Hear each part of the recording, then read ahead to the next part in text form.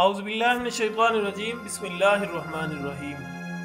خواتین و حضرات نالج فیکٹری میں خوش آمدید۔ ناظرین، آج کی ویڈیو میں ہم آپ کو سمندر سے متعلق کچھ پر اسرار اور دلچسپ باتیں بتائیں گے۔ سمندر کی گہرائی اپنے اندر کئی پر اسرار اور خوفناک راز چھپائے ہوئے ہیں، جبکہ زمین پر موجود سائنسدان صدیاں گزرنے کے باوجود بھی ان سے پردہ نہیں اٹھا پائے۔ زمین کا تو ایک بہت بڑا حصہ دریافت کیا جا چکا ہے، جبکہ اب تک سمندر کا جتنا بھی حصہ دریافت کیا گیا ہے، وہ پانچ فیصد سے بھی کم ہے۔ خواتین و حضرات، دنیا کے زیادہ تر سمندر سمندری حیاتیات سے بھرپور ہیں، جن میں سمندری جانور، پودے اور مرجان شامل ہیں۔ سمندر ہزاروں جراثیموں اور وائرس کا گھر بھی ہوتے ہیں، ان میں سے زیادہ تر تو نقصان نہیں پہنچاتے لیکن نقصان پہنچانے یا نہ پہنچانے کا انحصار اس بات پر ہوتا ہے کہ آپ کون سے سمندر میں ہیں۔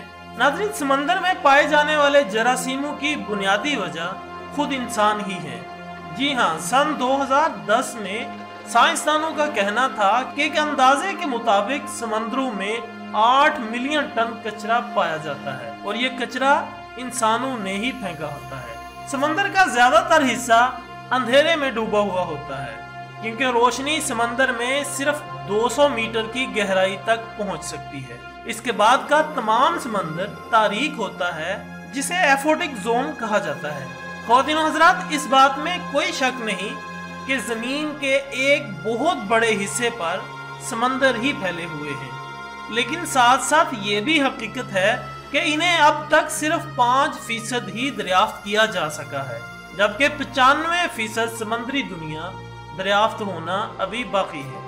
گہرے سمندر میں پانی کا دباؤ اتنا زیادہ ہوتا ہے کہ وہ انسان کے اندرونی اعضاء کو بآسانی توڑنے کی صلاحیت رکھتا ہے۔ یہ دباؤ خاص طور پر انسانی پھیپڑوں کو ہی اپنا شکار بناتا ہے۔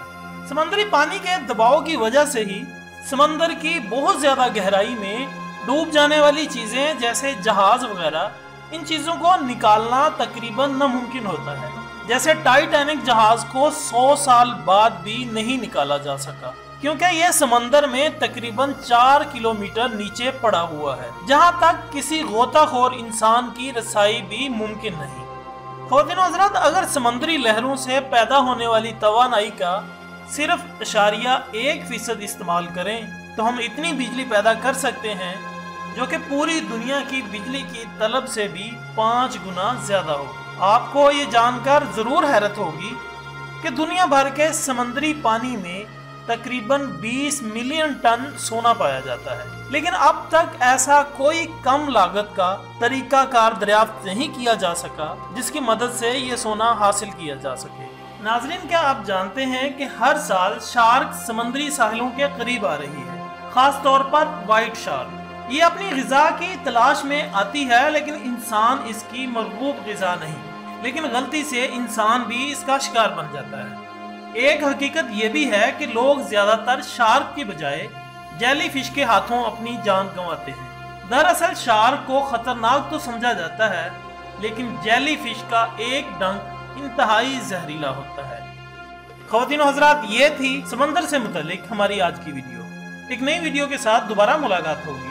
تب تک کے لیے اجازت دیجیے گا، اپنا دوستوں، رشتہ داروں اور گرد و نما کے تمام لوگوں کا بہت خیال رکھیے گا۔ اللہ حافظ۔